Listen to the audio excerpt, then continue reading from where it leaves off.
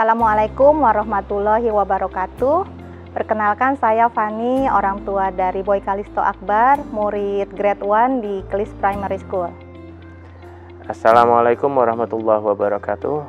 Saya orang tua dari Abdul Karim dan Ahmad Kiral yang berada di grade 1 dan grade 2 KLAS Primary School. Assalamualaikum warahmatullahi wabarakatuh. Saya adalah orang tua dari Davi Karel Satria di grade 1 Uh, kenapa saya memilih anak saya untuk bersekolah di Kelly's Primary School? Uh, yang pertama, saya melihat bahwa di KLS Primary School ini merupakan sekolah yang paling lengkap untuk kebutuhan anak saya, khususnya di masa pendidikan dasarnya. Uh, KLS Primary School merupakan perpaduan antara kurikulum internasional yang dapat membekali mereka untuk bersaing di dunia internasional, ditambah ditambah dengan kurikulum Islami yang membekali mereka untuk be, memiliki akhlak yang sesuai dengan ajaran Islam. Uh, alasan saya ya memasukkan boy ke Klis Primary School ini pertama yaitu tadi fasilitasnya lengkap. Ada program tahfiz Quran, kurikulumnya Cambridge, jadi membiasakan anak untuk berbahasa Inggris sehari-hari.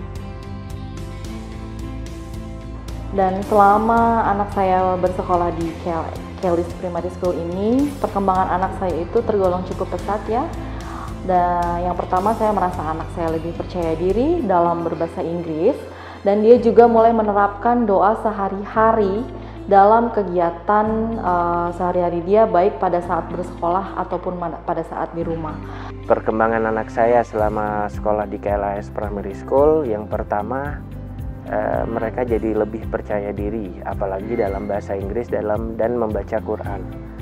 Yang kedua, uh, mereka sangat bersemangat untuk sekolah karena dengan fasilitas yang lengkap, gurunya yang baik, dan cara belajarnya juga yang menyenangkan buat mereka.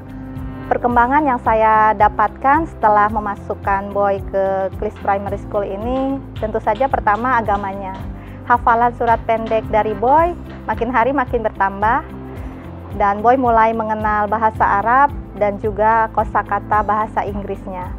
Dan saya juga merasa anak saya lebih mandiri dan dewasa karena memang sejak mulai hari pertama sekolah di Kelly's Primary School, uh, orang tua itu tidak diperbolehkan untuk mengantar anaknya ke kelas dengan tujuan supaya dari mulai hari pertama anak-anak diajarkan untuk lebih mandiri.